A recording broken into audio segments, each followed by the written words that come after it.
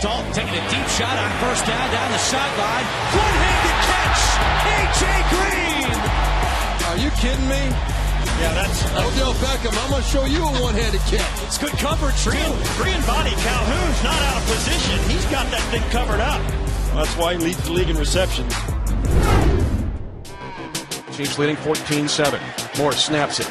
Chin high. Alex Smith is throwing long left for the business. Coming back to the ball. Catch made! Touchdown! Kansas City! Tyreek Hill was tracking that football with his nose and eyes. It's a 38-yard touchdown pass. Burning Ken Crawley of the Saints. Offset I. Hogan on first down. Drops to throw. Straight pocket. Up in the pocket running. 30, 25, 20, 15. He's to the 10. He is to the 5.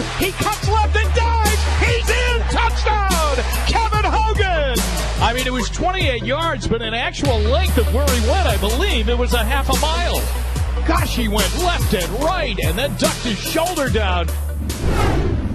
So the options here, they toss one in the end zone or a quick out route to try to get in field goal range. Looks like they're going to go deep. Dalton to the end zone, down the field, and it is deflected and gone! Touchdown!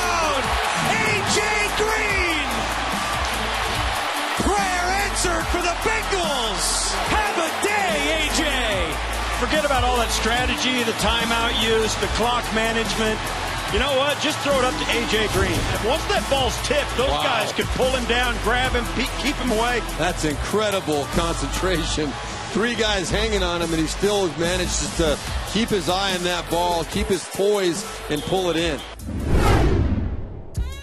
With a seven-point lead in the ball. Keenum drops out of the gun. New York rushes five, throw over the middle, popped in the air, and intercepted. Picked off by Landon Collins. Returns it inside the 40. Now he cuts across the field and gets inside the 30, still on his feet. Down the left sideline, 20, 15, 10, 5, and touchdown! Oh my goodness! Landon Collins,